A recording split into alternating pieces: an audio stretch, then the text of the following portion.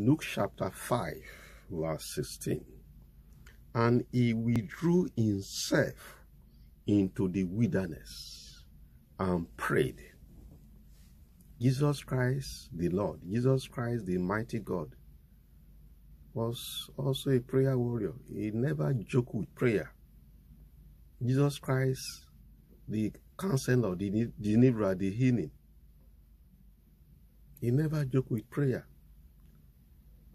And he did not only pray in his house or in the synagogue, he had a strategy of going on prayer retreat. He had a strategy of withdrawing himself in a lonely place where there is no distraction in order to pray. And that was the secret of the power of Jesus Christ. You could have expected that Jesus Christ, the, the, the, the, the Lord, why does he need to pray? Jesus Christ himself prayed. So if Jesus Christ prayed, who are you not to pray?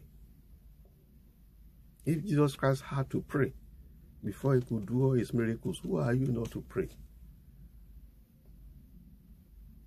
And Jesus Christ had this strategy which you should adopt. You must learn how to go on prayer retreat. You must learn how to go on a prayer mountain. Cut yourself from the distractions of the world. Drop your phone. Cut yourself from communication. Cut yourself from your businesses.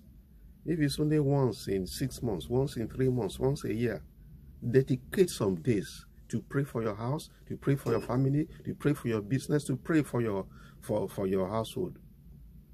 As you follow this same strategy, withdrawing yourself to a lonely place where there is no distraction, as you sacrifice yourself in the altar of prayer, the power of God shall fall over you.